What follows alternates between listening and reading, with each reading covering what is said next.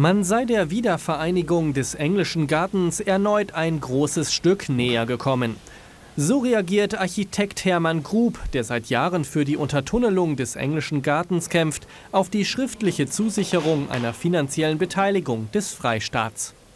Das war ja auch das, was sich die Stadt München gewünscht hat oder zur Bedingung gemacht hat, dass sie den Tunnel in Angriff nimmt, dass diese Gelder vom Land Bayern fließen. Und das ist jetzt passiert. Bereits im Juli hatte die Staatsregierung mündlich zugesichert, 35 Millionen Euro für den englischen Gartentunnel dazuzugeben. Nun kam es auch endlich schriftlich im Rathaus an. Noch vor der Sommerpause soll der Stadtrat über das Projekt in Schwabing abstimmen. Ohne Probleme geht gar nichts durch, weil man sich natürlich das äh, anschauen muss.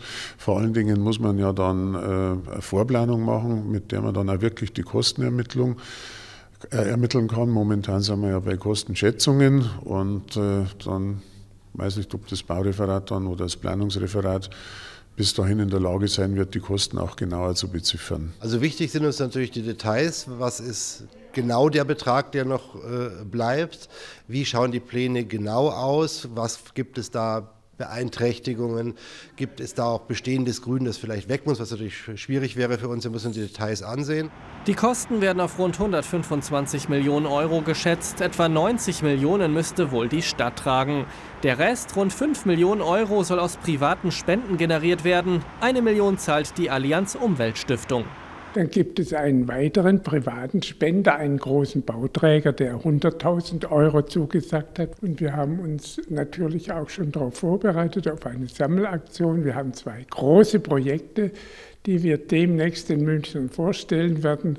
Die sollen auch dazu dienen, Mittel zu generieren für den Tunnelbau. Höchste Priorität habe laut der CSU ein Tunnel in der Landshuter Allee, unabhängig vom Tunnelprojekt am Englischen Garten. Und ähm, beim Englischen Garten ähm, muss die Planung zeigen, wo man ihn parallel oder dazwischen zwischen den Projekten unterkriegt. Für den Tunnel der Landshuter Allee gibt es ja vor allen Dingen einen Auftrag an die Stadtverwaltung nachzuweisen, dass es äh, wesentliche verkehrliche Verbesserung gibt. Und äh, dieser Auftrag ist noch nicht erfüllt. Wir glauben, dass insgesamt dieses, diese Idee eines untertunnelten mittleren Regens an, an verschiedenen Stellen, also Landshuter Allee, Tegernseer Landstraße, eine überdimensionierte Politik ist, wo einige Anwohner natürlich äh, vom Lärm her geschützt werden, aber dafür Milliarden kosten, das glaube ich, da steht die, die Relation nicht mehr ähm, im Maß. Hermann Grub jedenfalls hat sich noch am Montag auf den Weg nach Berlin gemacht, um Verkehrsminister Dobrindt um eine Unterstützung für eine Spendenaktion in Sachen englischer Gartentunnel zu bitten.